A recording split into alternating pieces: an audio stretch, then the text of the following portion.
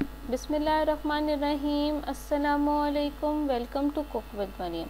आज हम बनाएँगे शवारमा कुछ स्टेप्स हैं। पहले हम उसकी ब्रेड बनाएँगे, यानी पीटा ब्रेड बनाएँगे। फिर हम उसकी थाउज़ेंड आइलैंड ड्रेसिंग, यानी एक सॉस है जिसका नाम है थाउज़ेंड आइलैंड ड्रेसिंग, जो सॉस बहुत यूज़फुल होती है। आप सैंडविचेस, बर्गर और में करते हैं उस सॉस को। आप उसको फ्रिज में भी रख सकते हैं। ठीक है तो आपको वो सॉस की भी रेसिपी इसमें मैं दूँगी और पीटा ब्रेड आप बाज़ार से भी ले सकते हैं और घर में भी आप बना सकते हैं। इट्स अप टू यू कि आपने क्या करना है। ठीक है पीटा ब्रेड घर में बनाना बहुत आसान होती है और अक्सर आपको बाज़ार में पीटा ब्रेड्स नहीं मिल रही होती। उसकी वजह ये होती है कि ये जल्द से जल्दी एक्सपायर हो जाती है। इसीलिए बहुत कम आपको पीटा ब्रेड्स मिल रही होती हैं और ये आप अपने घर में वैसे तो बहुत आराम से बना सकते हैं। इसीलिए आज मैं आपके साथ पीटा ब्रेड की रेसिपी शेयर करना चाहती हूँ। इसके लिए जो आपको चाहिए होगी वो है मैदा टू कप्स हैं। ऑल पर्पज फ्लावर है ये, ठीक है? और आपको चाहिए बेकिंग सोडा जो यहाँ पे है, ये बेकिंग सोडा है। ये है वन टीस्पून ठीक है? आपको चाहिए बेकिंग पाउडर टू टीस्पून और आपको चाहिए नमक सॉल्ट टू टीस्पून और आपको यहाँ पे थ्री टेबलस्पून ऑयल चाहिए। ऑयल में इसमें जब मैं इसको गूंदूँगी डो बनाने के लिए तो उसमें मैं टू टेबलस्पून तब डाल दूँगी और जब मैं गूंद लूँगी तो मैं उसको असेंबल करने के लिए, यानी उसको अपने हाथ से स्टिकीपन उसका दूर करने के लिए फिर मैं एक टेबल स्पून यूज़ करूँगी। इसलिए मैंने यहाँ पे थ्री टेबल स्पून ही लिख लिया। अच्छा एक कप हमें पानी चाहिए होगा। अच्छा ये सब मेजरमेंट्स जो हैं, वो मैंने अपने मेजरमेंट्स जो चीज़ें मिल, ऐसी होती है कप्स एंड स्पून वाली, मैं इनसे मेजर करती हूँ, ठीक है? ये नहीं कि मैं इसी से ये कप है मेरे पास तो मैं इससे मेजर कर रही हूँ, मैं इससे नहीं मेजर करती। ये प्रॉपर जो मेजरिंग कप्स और स्पून होते हैं, मैं उन्हीं से मेजर करती हूँ। मेरी सारी रेसिपीज़ में आप सब मेज़रमेंट इन्हीं से हुई हुई है, ठीक है?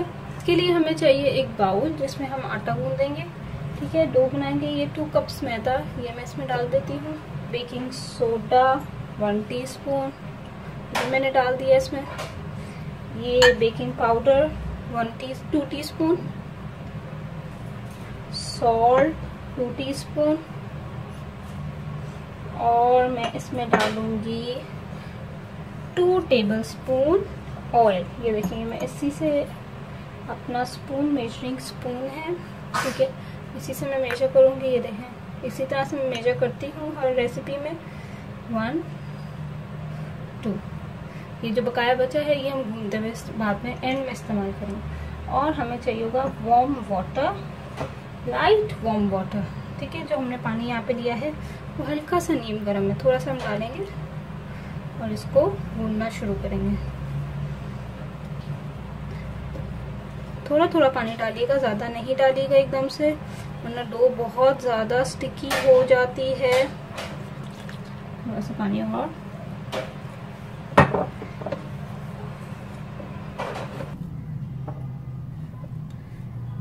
थोड़ा पानी डालना है, बिल्कुल थोड़ा थोड़ा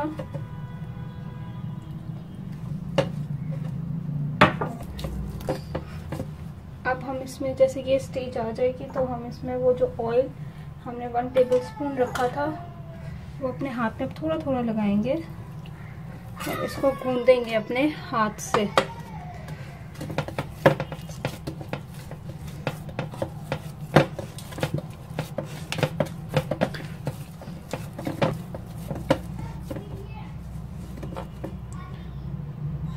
ये देखिए थोड़ा सा और ऑयल लूँगी मैं। बस ये डो मेरी बिल्कुल रेडी हो गई है पीटा ब्रेड की।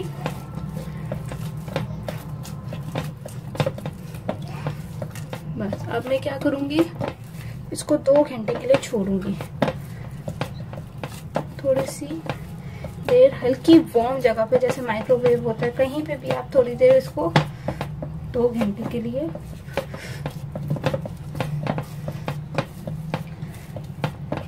ये डो मेरी तैयार है।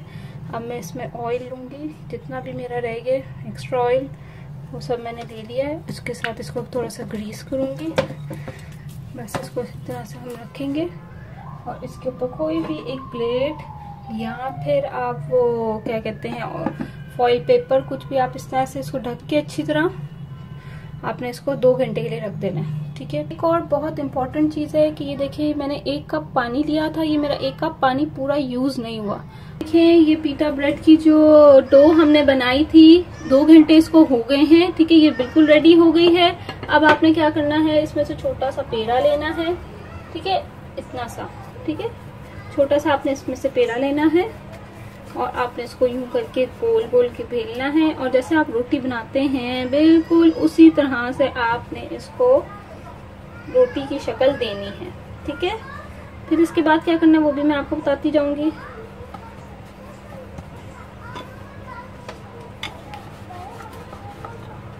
ये देखें।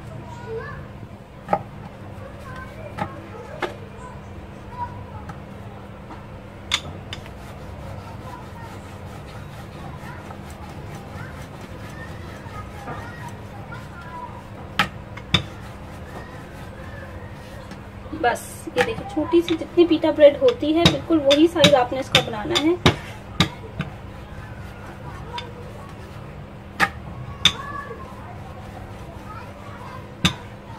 ये देखिए, बस हमें थोड़ी सी मोटी ही रखनी है, पीटा ब्रेड थोड़ी सी मोटी होती है, ठीक है? ये आपने पीटा ब्रेड की शक्ल में इसको थोड़ा सा और बड़ा करना है तो आप कर सकते हैं।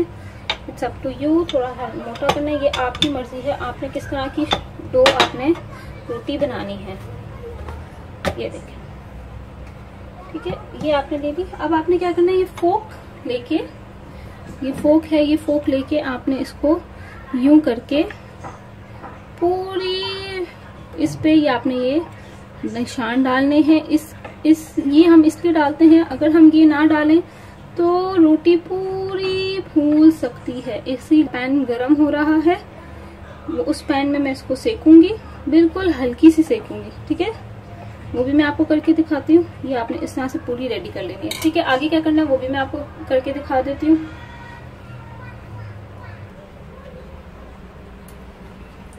ये देखिए, ये मेरा पैन यहाँ पे मैंने एक पैन ले लिया है और ये मेरा गर्म हो गया, ठीक है? आपने फ्लेम बहुत स्लो रखनी है, देख लें, ये फ्लेम बहुत स्लो है। इसी स्लो फ्लेम पे आपने बिल्कुल बनाना है ये शॉर्मा ये पीटा ब्रेड ठीक है? शॉर्मा की ब्रेड पीटा ब्रेड ये आपने देखे, इस तरह से इस पे डाल देना है। नॉन स्टिक पैन होना चाहिए ताकि स्टिक ना हो। तवा भी ले सकते हैं, पर स्टिक ना हो, ये आपने ध्यान रखना है। ये देखें, अब ये इस तरह से ये हल्का हल्का बिल्कुल स्लो हीट पे आपने इसको पकाना है, क्योंकि आपने इसको रंग, जो इसको ऊपर से हल्का सा रेड करना है, बहुत ज़्यादा गर्म ना हो। जब ये आहिस्ता आग पे पकेगा तो ये अंदर तक अच्छा सा पकेगा, ठीक है? ये देखें। जब ये इस तरह से हल्का सा ये नीचे से सेका जाए, इसको टर्न कर देगा ये। देखें, बिल्कुल अच्छा बिल्कुल ज़बरदस्त कलर आया है। बिल्कुल इसी तरह से इसको पकना चाहिए। बस ये रेडी हो गई दूसरी साइड से भी ये जरा सी इस तरह से पक जाएगी तो मैं इसको उतार लूँगी, ठीक है? आप चाहे पतली बना लें, आप चाहे मोटी बना लें इट्स अप टू यू ठीक है कि आपने कैसी चाय बनानी है, ठीक है? ये देखें, दूसरी साइड से भी ये पक गई है। अब बस इसको मैं साइड पे रख देती हूँ। मेरा पीटा ब्रेड बिल्कुल रेडी हो गई है। ये मेरी फोर पीटा ब्रेड्स बनी है, ठीक है? मैंने दो कप लिए थे, मैदा, दो कप से मेरे four one two three four pita breads मेरी रेडी हो गई हैं। वो शॉर्मे की जो फिलिंग है, वो हम बनाएँगे। उसके लिए जो हमें चीज़ें चाहिए, वो मैं आपको बता देती हूँ। यहाँ पे मैंने वेजिटेबल्स कुछ काट ली हैं। बहुत ही बारीक काटी है देखें। बहुत ही बारीक काटनी है सारी वेजिटेबल्स बिल्कुल बारीक बारीक ठीक है? ये सब चीज़ें बारीक बारीक कटेंगी। इसमें मैंने ये कैबेज लिया है ये वन एंड हाफ़ कप है। इसमें मैंने ये कैप्सिकम है ये वन कप है। ये मैंने आ, वो अनियन लिया है ये हाफ़ कप्स हैं। और हाफ़ कप है ये और ये टोमेटोज मैंने काट लिए बीच निकाल के पील आउट करके। ये भी हाफ़ है हाफ़ कप है ठीक है? आपकी अपनी मर्ज़ी है आपने जो आपको वेजिटेबल्स अच्छी लगते हैं, आप वो डाल सकते हैं। जितनी डालनी है आपकी क्वांटिटी के हिसाब से, जैसे भी आपको अच्छी लग रही है, आप वैसे डाल सकते हैं, ठीक है? आप दूसरी भी वेजिटेबल्स यूज़ कर सकते हैं। इसमें ये नहीं है कि आपने यही वेजिटेबल्स यूज़ करनी है, ऐसा नहीं है। जो आपको पसंद है आप वो यूज़ कर सकते हैं। फिर मैंने यहाँ पे ये चिकन स्ट्रिप्स में काट लिया ये देखें। लंबी लंबी स्ट्रिप्स में इसको मैंने काट लिया है। ये है हाफ़ के जी ठीक है, ये मैंने एक ब्रेस्ट पीस बड़ा सा ले लिया था हाफ़ के जी का, उसको मैंने ऐसे स्ट्रिप्स में काट लिया ठीक है? और यहाँ पे जो मैंने लिया है, ये योगर्ट है, इसको मैंने बीट कर लिया है बीट करके मैंने यहाँ पे इसको थ्री टेबल स्पून योगर्ट दही, जो ले ली, ठीक है? और यहाँ पे मैंने सोया सॉस ये soya sauce one table spoon है, ये सोया सॉस है, ये वन टेबल स्पून है। यहाँ पे मैंने two table spoon H sauce ले लिए और two table spoon DP sauce ले लिए। दोनों मार्केट में बहुत इजीली अवेलेबल हैं, आप ले सकते हैं। ये आपको इजीली मार्केट में मिल जाएगी। इससे आपके शवारमे के टेस्ट बिल्कुल ऐसा आएगा जैसे बाज़ार का शवारमा होता है, बहुत मज़े का टेस्ट होगा, ठीक है? तो आपने ये यूज़ करनी है इसमें, ठीक है? और मैंने यहाँ पे ले लिए चिली सॉस ये भी टू टेबल स्पून है। ऑयल टू टेबल स्पून और यहाँ पे विनेगर वन टेबल स्पून ठीक है? और यहाँ पे मैंने गार्लिक लहसन, जो कि मैंने इसको पीस लिया है। ये मैंने वन टीस्पून लिया है।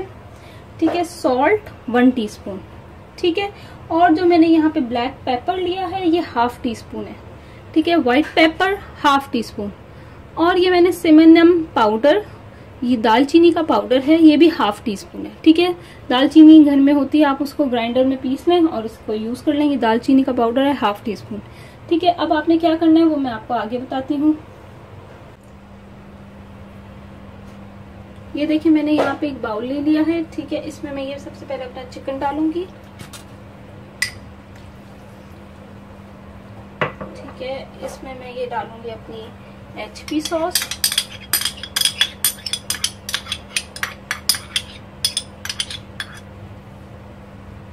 ये मैं डालूँगी DP sauce two two table spoon है दोनों।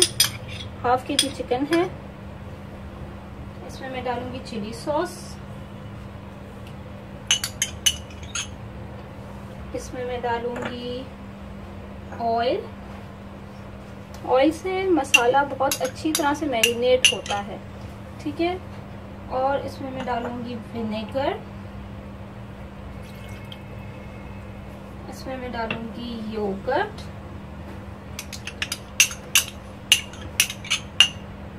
इसमें मैं डालूँगी सोया सॉस और ये सारे मसाले जो मैंने आपको भी दिखाए थे, ये सारे मैं इसमें डाल दूँगी।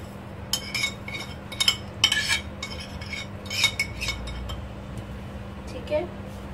अब इसको अच्छे से मिक्स करेंगे। बहुत अच्छे से आपने इसको सब चीज़ों को मिक्स करना है। ये देखिए सब अच्छी तरीके से मिक्स हो गई हैं चीज़ें। बिल्कुल अच्छे से मिक्स हो गई हैं।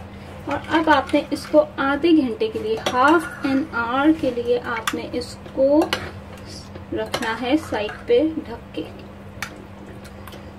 ठीक है? हाफ़ एन आवर के लिए आपने इसको साइड पे रख देना है। ले लिया है। ठीक है? इसमें मैं शॉर्मे की वो फिलिंग बनाऊँगी। ठीक है? हाफ़ एन आवर मेरे चिकन को हो गया है, रखा हुआ। ये हाफ़ एन आवर हो चुका है। अब इस हॉट पैन में मैं ये डालूँगी। ठीक है?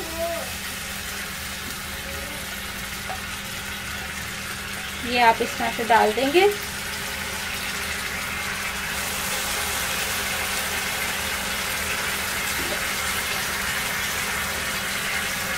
तो ये मैंने डाल दिया था। बस, इसको हल्की फ्लेम पे आपने इसको कुक करना है, जब तक ये टेंडर ना हो जाए इसकी चिकन गलना होता है ठीक है, इसको कैप लगा दूँगी मैं। पे इसको मैं कैप लगा दूँगी। और इसको मैं 10 मिनट्स तक इसी तरह पकने दूँगी और बीच में चम्मच भी हिलाती रहूँगी। After two two three three minutes में इसमें चम्मच भी हिलाती रहूँगी और इसको 10 मिनट्स तक इसी तरह से हल्की फ्लेम पे इसको टेंडर करना है मैंने, ठीक है? उसके बाद क्या करना है? फिर मैं आपको बताती हूँ। आफ्टर टू मिनट्स हम क्या करेंगे?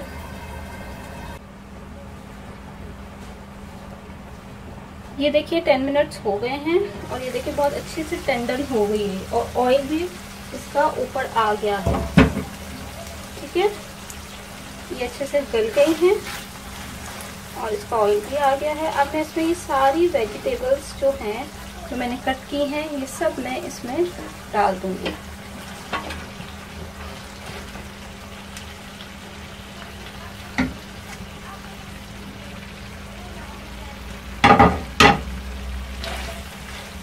सारी वेजिटेबल्स मैंने इसमें डाल दी हैं और इसको मैं सिर्फ़ थोड़ी सी आग तेज़ करूँगी। फ्लेम मेरा तेज़ हो जाएगा फुल ठीक है फुल फ्लेम में इसको मैं हल्का सा सॉफ्ट करूँगी। हल्का सा यानी इसको पकाऊँगी। कच्ची कच्ची अच्छी लगती हैं। सब्ज़ियाँ इसीलिए मैं इसको हल्का सा पकाऊँगी। ये देखें, बस इसको अच्छे से मिक्स करना है। इसी में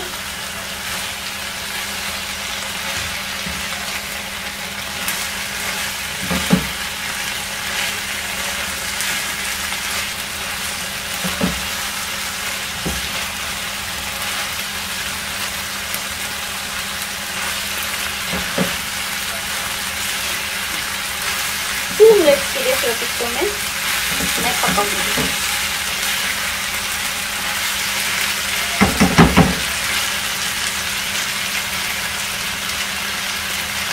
कितनी अच्छा इसका कलर देखे हैं कितनी अच्छी वेजिटेबल्स बहुत फाइन आपने काटनी है क्योंकि शॉर्मे में बहुत ही बारीक सब्ज़ियाँ पकती हैं।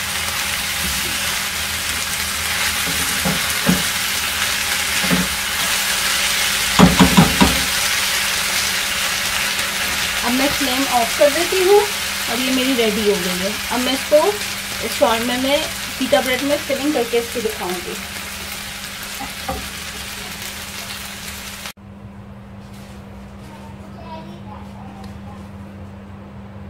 ये देखिए, मैंने बटर पेपर ले लिया है। ये एक बटर पेपर मैंने लिया है। इस तरह से आप बटर पेपर्स आपको बाज़ार से मिल जाते हैं। आप उसको कट भी कर सकते हैं, बड़े भी मिल जाते हैं, छोटे भी मिल जाते हैं। आप इस तरह से ये बटर पेपर ले लें। ठीक है, ये बटर पेपर लेके आपने क्या करना है, ये आपकी जो शवारमा की ब्रेड है, ये आपने इसके ऊपर रखनी है, ठीक है? और आपने क्या करना है, अपनी थाउज़ेंड आइलैंड जो हमने सॉस बनाई थी, वो हमने इसके ऊपर स्प्रेड कर देनी। थाउज़ेंड आइलैंड ड्रेसिंग जो हमने बनाई थी, वो हमने इसके ऊपर स्प्रेड कर देनी है।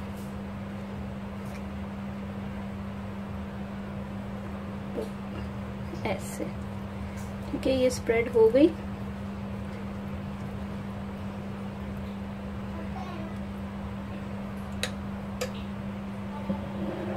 ठीक है, इसके बाद जो हमारा वो है, जो अभी हमने बनाया है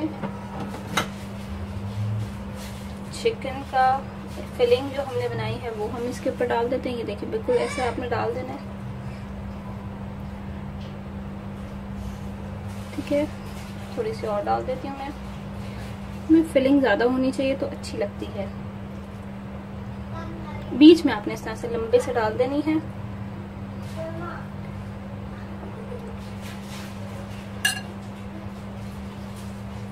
ठीक है, ये आपने इस तरह से आपने बीच में डाल दिया है। अब आपने क्या करना है, इसको यूँ करके और यूँ करके आपने रोल कर लेना है। और आपने इसको यहाँ से बटर पेपर के कॉर्नर से आपने स्टार्ट करना है। देखिए कॉर्नर है। ये आप देख सकते हैं ये कॉर्नर है। कॉर्नर से आपने स्टार्ट करना है यूँ और इसको रोल करते हुए आपने ऊपर की तरफ़ ले जाना ठीक है, बहुत इजी है, कोई मुश्किल नहीं है। ये आपने रोल कर लिया। अब आपने यहाँ से अंदर डाल देना है और यहाँ से भी अंदर डाल देना ये देखिए आपका तैयार हो गया है। मसाला है और अगर आपने अभी तक मेरा चैनल सब्सक्राइब नहीं किया तो सब्सक्राइब करें और बेल आइकॉन का बटन लाजमी दबाएँ और ज़रूर याद रखिएगा। अल्लाह हाफ़